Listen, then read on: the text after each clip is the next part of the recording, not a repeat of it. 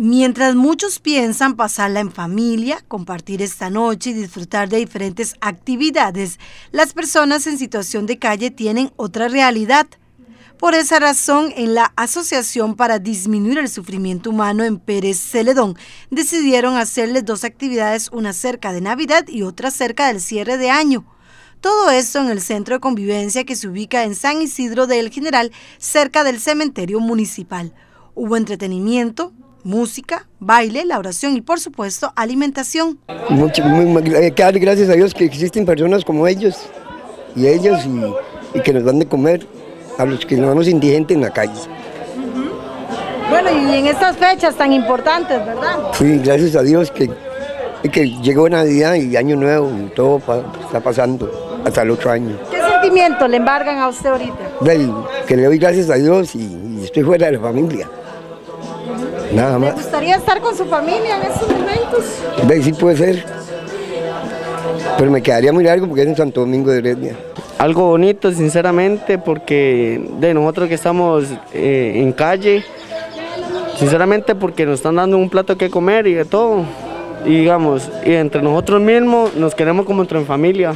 La verdad me ha parecido excelente, muy bonito, nos han tratado muy bien. Bueno, todo el año que tengo, bueno, yo tengo tres años de estar acá y nos han tratado de maravilla y todos los días y esta actividad me ha parecido muy, muy, muy especial para nosotros, muy linda. ¿Los toman muy en cuenta? Sí, claro, en todo momento, nos toman todo, todo, la actividad nos toman en cuenta. La verdad que ellos son la verdad familia de nosotros. En Reddish afirman que el centro de convivencia es el único espacio que tienen estas personas para compartir. Decidimos hacerles una fiesta a ellos, ¿verdad?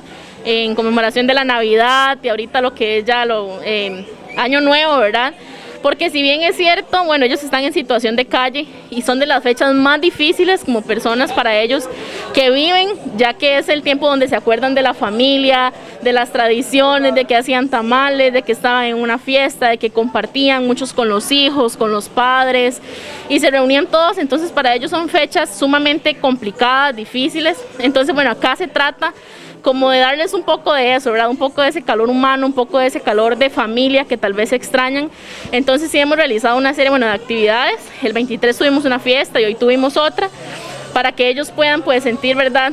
Este, ese abrazo, ese calor humano, ese, ese ambiente también, ¿verdad? De la Navidad, ya de lo que es el Año Nuevo, que este lugar ellos lo ven como una casa, entonces pues que puedan disfrutar también acá. Para nosotros en estas fechas, este nos duele verlos a ellos este, en estas condiciones, de ahí que por eso tratamos de, de hacer algo. Nosotros somos parte de la familia de ellos, esta es la casa de ellos, ellos se sienten aquí cómodos, entonces por eso le hacemos estas actividades. Y sí, gracias a la colaboración de muchas personas que nos han venido a dejar tamales, eh, helados, queques, diferentes cosas y hemos tocado puertas y nos han ayudado para hacerles una fiesta agradable para ellos. Cada día son más personas en situación de calle en San Isidro de El General, principalmente jóvenes. Sí, tal vez muchos este, ahorita, ¿verdad? Como son fechas tal vez ya de pago, así, entonces muchos andan en el centro trabajando, así, entonces tal vez no vienen tantos, pero el 23, bueno, sí hubo más, más participación. Hoy sí hemos tenido igual como 32 por ahí de personas, este, pero sí ha estado bastante movida la mañana.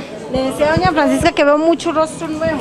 Sí, claro, hay muchas, muchas personas nuevas en situación de calle y lamentablemente también muchos de ellos son jóvenes, muy, muy jóvenes, entonces sí es una situación preocupante. De esta manera se les hizo algo especial a la población en situación de calle.